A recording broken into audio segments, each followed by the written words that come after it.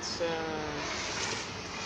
May 30th, Saturday evening. Uh, as you are away from uh, my previous videos, two days ago, on Friday, the police and the UNHCR have vanished and destroyed my shelter, which was here under this tree. It was the fourth shelter that was being destroyed. For the, this was the fourth time that they destroyed my shelter. Last uh, night, um, uh, I was working on the video that I published today, two hours or three hours ago. I didn't sleep actually until morning, and um, uh, it took me until like two at the afternoon to prepare that video and later go and publish it. So now I'm very really tired. After uh, almost two days I was able to get some food from somewhere. I paid for it. So uh, now that's where I am staying now. This is my uh, sleeping bag and that's the UNHCR's office as you know so the UNHCR so I will be sleeping here. Oh this is me. In a sleeping bag. Here this is a sleeping bag I got yesterday.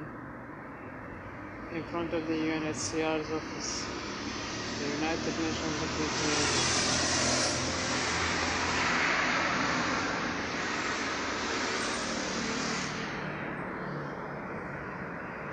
see the entrance of the building. Hello everyone. It's Sunday, May 31, 2020. So last time, last night I slept here. Actually on the other side, if you can see over there. But it's now sunny at the morning. I had to move to this side. There is shade here. So last night they didn't call the police, I suppose. And uh, actually, the last time that they also destroyed my shelter, uh, I was sleeping here like I don't know for a few weeks.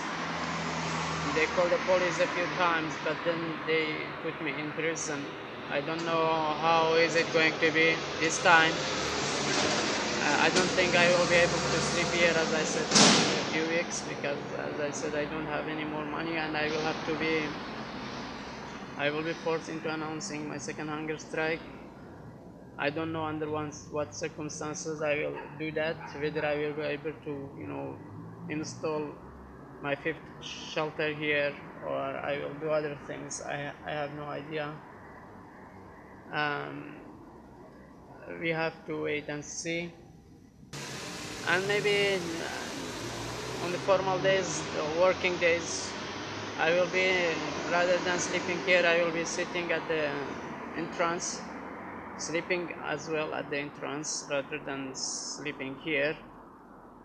Well, this cannot go on like this. Police and UNHCR you know destroy my shelter again and again and offer us no place to stay in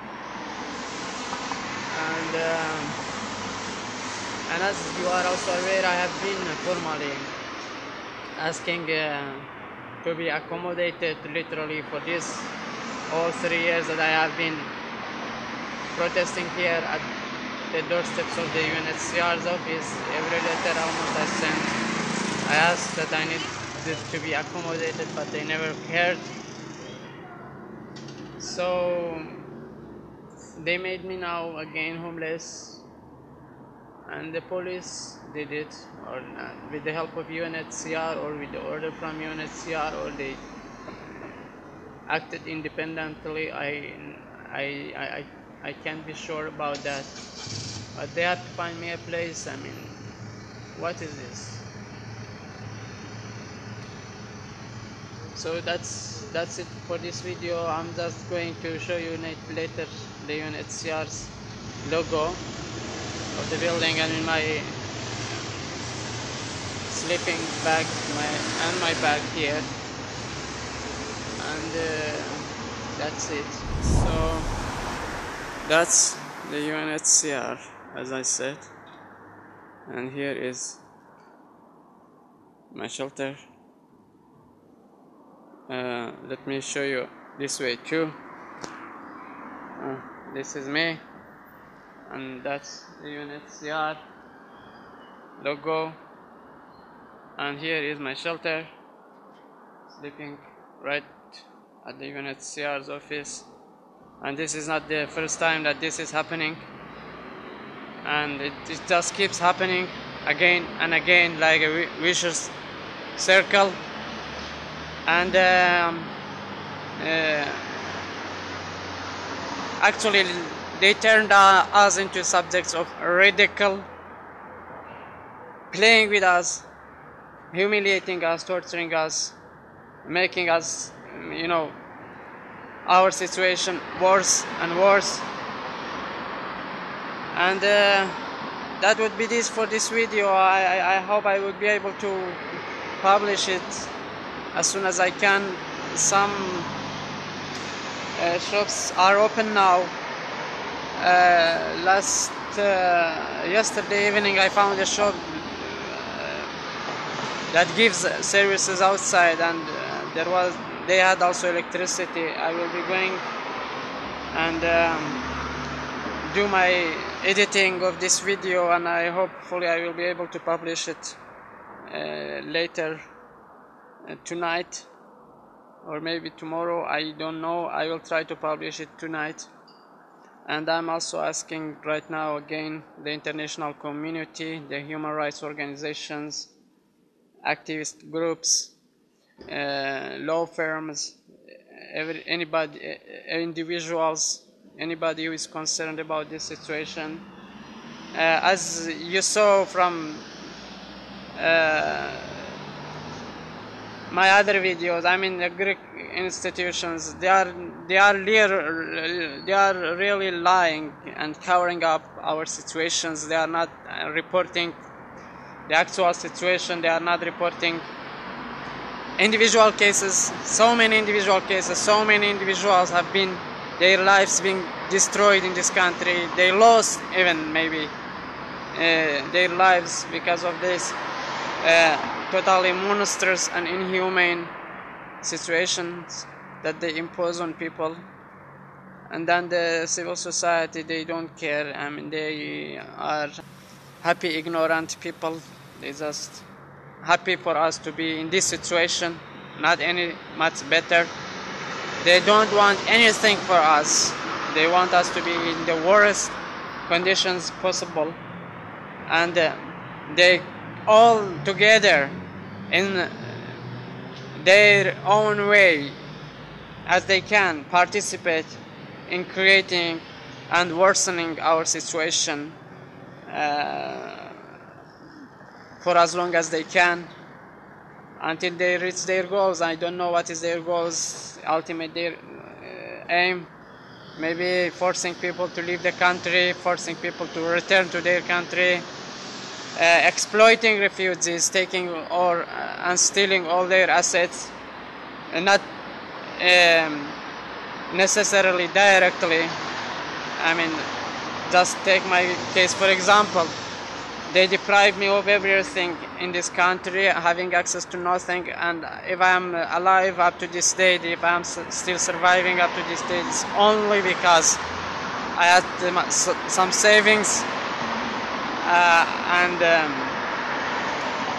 and I and it's only because of that that I have been surviving for this long. Otherwise, I don't know. I have no idea what else could have uh, been happening happened to me. I mean, everything is uh, open to a possibility, and um, yes, please help. Please help. Come and find me here at the UNHCR's office now that my shelter is not here. Maybe you can if you didn't see me here uh, send a message from Facebook or an email. I will be certainly trying to uh, install my fifth shelter as soon as I can but I don't know before I do that if there are other things that I would uh, do. I don't know. I will uh, have to think what I will do and uh, I need to bring this case to the attention of the Human Rights uh, Court, European Human Rights Court, uh, international courts. Uh, this cannot go on like this. The Greek state and the Greek government, the Greek society, the organizations, the UNHCR, they cannot do this to us. They have no rights they cannot do this to us. I mean if they if they don't want us as i said i mean i in my previous video i clearly i asked the police and send me to a deportation camp but you cannot do this to me. You cannot do this to anybody. Uh, open the border and let me go. They have options. I don't have any options. My hands are cuffed but they, their hands are open. They have a lot of possibilities. They can ask UNHCR to uh, transfer me from this office to another UNHCR's office inside or outside Europe wherever I can address my resettlement my inquiry for resettlement and get a proper response without you know having to go through all these uh, struggles all this pain and suffering. Uh, and um, please help. I also maybe need donations um, aside from the legal aid. Uh, if you have a good tent maybe you could bring it to me. I need some timbers. I will need some timbers to put it inside my tent. Uh, I need some blankets. Um, and so as I said, I also financial aid. I will also have a, a court during uh, this week on uh, June 4th for the same issue. Same issue. It's an old case. They I've been summoned again, and I don't have a lawyer, and I haven't been able to find a lawyer. So if anybody can do a representation for me during this court for this court on June 4th uh, in about four days from now. Again please uh, uh, reach out to me. Please find me and uh, uh, you know where you can find me. There are many ways as I said Facebook email or come and find me here in person. And um, thank you very much. This is for this video have a good day. Bye